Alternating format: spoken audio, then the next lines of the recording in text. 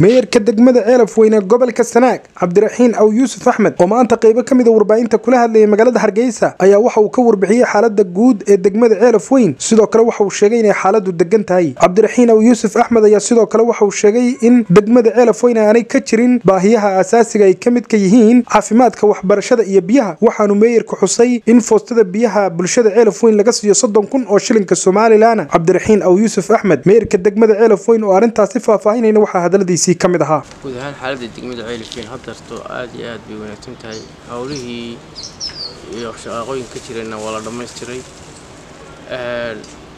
warbaahintan kule lagu baahiyey go'aamadii ka soo baxay oo guddidii dhexdhexaadka maamulkii iyo madaxdii dowladda joogtaba go'aanadii ka soo baxay waa go'aano laga wada dheregsan yahay insha allahu tacaala waxaan rajeynaynaa in xaaladaas hadeerto ay noqoto tii u dambeysay ee laga galo ee nabaqdeen lagaga galo degmada ceelifeyn waayo in badan baa xaalad soo noqday hadda waa arrin dadka xaggiisii ka bislaatay oo dadweynuhu isaga yimaadeen. Aad iyo aad iyo aad baan rajo weyn ugu qabnaa in si fiican loogu guuleysto waxyaalihii lagu ballamay nabadda laga ballamay oo sida tahay xoolihii magiyo la kala qaato waxyaalihii kale la midka ahaana deg bay u dhammaanayaan insha allahu tacaala.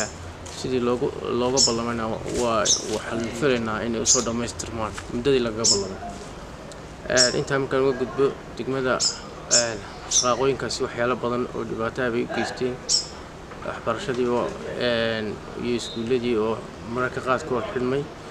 Iskuullada qayb qaar ka mid oo ciidamadii nabadayntu ay galeen oo ayba ka dhigteen xeryo oo burburay. Haddii alabidikeeda leeyahay dhibaatooyinkaasi waxay noqdeen tuulooyin fara badan oo ka mid ahaa degmada oo qaarkood waxbarashadii iskuulladii ka xidhmeen sida dararweyne oo kale oo dugsi ilaa iyo dugsi sare laga dhisay ee gaadhsiinaya dugsi dhexe oo xidhmeen dhibaatooyinkaas oo dhan baa ka dhacay nasiibada iskuulladii qaarkood masal magaalada ceelifeen gudaheedoo kale way wada furan yihiin ilaa dugsi hoose dugsi dhexe dugsi sare way furan yihiin. Inkastoo dhismayaashii qaarkood ay xeryo ciidamadii nabadda u joogay ay qaarkood degan yihiin. Markaa kolley aafadaas xagga waxbarashada ku dhacday.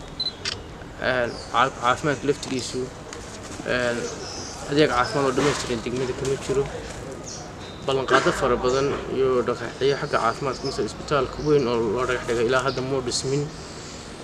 Iyadoo oo qolyihii hawshaa qaabilsanaana ay mar walba ku celcelinayeen nabadgelya darhaa jirto waxyaalahaas ay ku hakadeen mashruuc weyn oo biyaha oo afartan kilomitir magaalada biyaha looga soo qaadi lahaa biyogelin lagu samayn lahaa oo hay'adda s d f ay ballan qaaday laguna sameeyey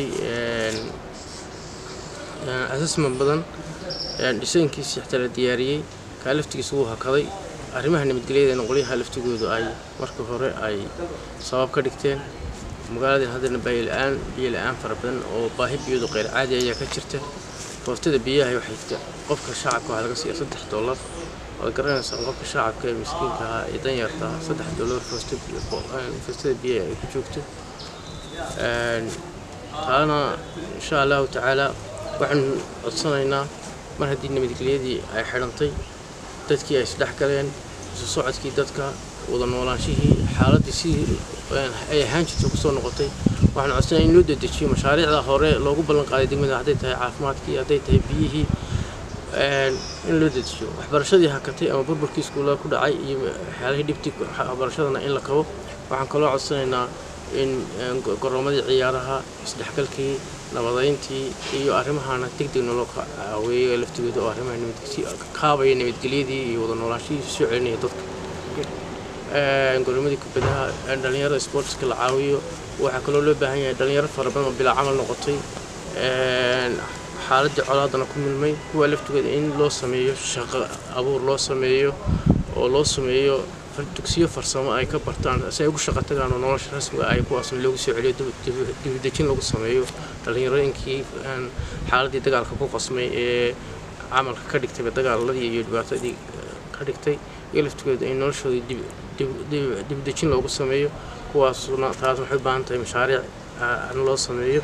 Arrimahaas ayay degmadu si deg dega ugu baahan tahay. Waxaanu codsanaynaa xukuumadda iyo dadweynaha iyo dhammaanba qurbajooga iyo ciddii kastay dalanaysa samafalka ka shaqaysa inay gurma deg dega oo dibudhisa degmadii loo sameeyo si aan xaaladahaasi xaalad nagu dhacay mar dambe aan dadka ugu soo noqon oo aan aafadaas inagu soo noqon. Si ummaddii loo iloosiiyo dhibtii ka dhacday masalan qofna aan waxyaalaha laga shakiyay oo ka mid ah aanada iyo isnacaybka iyo waxyaalahaasna aanay jaanis aanay u helin dadka ka shaqeynaya shaydaan doonaya soo noqday si aanay jaanis ugu helin dadkii lagu mashquuliyo camal loo sameeyo. Taasayna aad iyo aad u codsanaynaa waxaanu danaynaynaa aqoon-yahanka ganacsatada siyaasiyiinta dhammaan dadka reer somalilan inay degmada xoog la saaro sidii dibudhis degdega loogu sameyn lahaa. Waayo goob degmada hadday xumaato oo ka dhacda iskuolka sanaag bay ka dhacaysaa somaliland bay ka dhacaysaa dhibta dalka oo dhan oo somaliland oo dhan way wada taabanaysaa ummaddu waa ummad isku mid ah. Haddii qayb ka mid ay xumaan iyo colaad ku soo noqnoqoto ay ka dhacaan inta kalena dhibta iyo xumaantii wadagaas wada wada dhasho wadda isku mid ah. Markaasi dabkaas aanu mar dambe inagu soo noqonin waxaan ummadda somaliland oo dhan ka codsanaynaa in xoog la saaro si dibudhis degdega loogu sameyn lahaa dhinaca kale maayarka degmada ceelaf ayaa waxa uu ka hadlay mashruuca maamul daadejinta dowladaha hoose ee j b l g ga ee uu garhwadeenka ka yahay madaxweyne ku-xigeenka somalilan cabdiraxmaan cabdilaahi ismaaciil saylici. Waxaanu sheegay in uu madaxweyne ku-xigeenku u sababeeyey sababaha loo keeni waayey mashruucaasi degmada inaanay degmadaasi nabadgelya ka jirin isagoo xusay in la geeyey meelo kale oo maalin walba ay rasaastu ka dhacayso. Cabdiraxiin yuusuf axmed meerka degmada ceelaf oo mar kale arrintaasi ka hadlayna waxaa hadaladiisii ka mid ahaa. Tan kale g b l g ga arrintaas anagu garan mayno. Madaxweyne xigeenka ayaa guddidaas hawsha qaabilsan jeermanka madaxweyne xigeenkuna iyadoo aan colaad ka dhicin bilaha ceelifin nabad iyo sanaag nabad maaha lahaa haddana waxaan ognahay meelo xabadda gelin hore gelin dambe ka dhacaysta oo mashruuca loo sii daayo gobollada ka mid a markaan u garanay arrintaa madaxweynaha. Ku-xigeenka ayaa la weydiinaya sababta u diidan yahay